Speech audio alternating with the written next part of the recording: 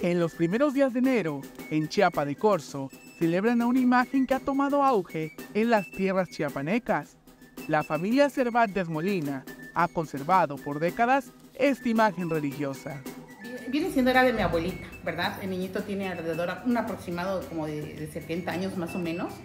Este, y pues que ha compartido de mi abuelita a sus hijas ahora. Y este, pues yo soy nieta.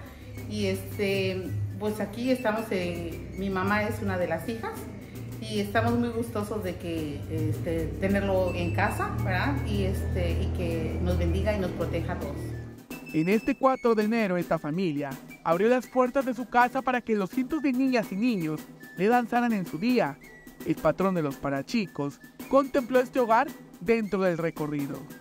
Esta tradición se venía perdiendo un poquito este, porque ya no se hacía el recorrido del día de hoy, celebrando al, este, niño de Atocha, pues que es el niño Jesús en sí.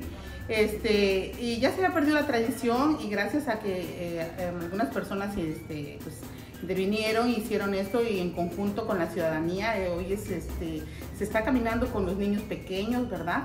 Eh, chapanecas y para chiquitos y van pasando en las casas de em, personas que tienen este, pues el niño de Atocha. Eh, quiero yo pensar, o, o, más bien es así, que están pasando, pues hay muchos niñitos, ¿verdad? Pero están pasando en las, a visitar a los niñitos que tienen más años, ¿verdad?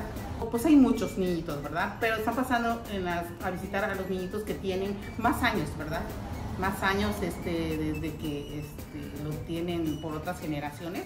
Esta familia se preparó para poder recibir a los cientos de niños y niñas que engalanaron este hogar con la tradicional danza, en honor a una de las imágenes de la fiesta grande de enero es algo muy bonito, es una tradición muy bonita. Empieza hoy lo que es el para chicos y yo me da mucha alegría eso, ¿verdad? Más que soy de acá y me da mucho gusto que eso siga creciendo y que cada día este, haya más para chicos.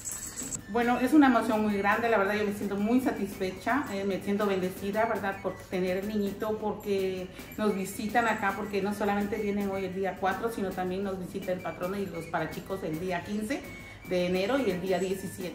Con esta actividad da por iniciada la esperada fiesta de enero, la cual contempla más recorridos como este, que tendrán lugar desde el día 15 hasta el 23 de enero. Yo estoy muy orgullosa de ser chapacorseña, de ser de aquí de Chapa de Corzo. Este, sí, yo les invito a toda la ciudadanía que pueda venir acá a visitar, a vivir esa emoción, no solamente de no ser de aquí, al estar aquí, se sienten parte de nosotros.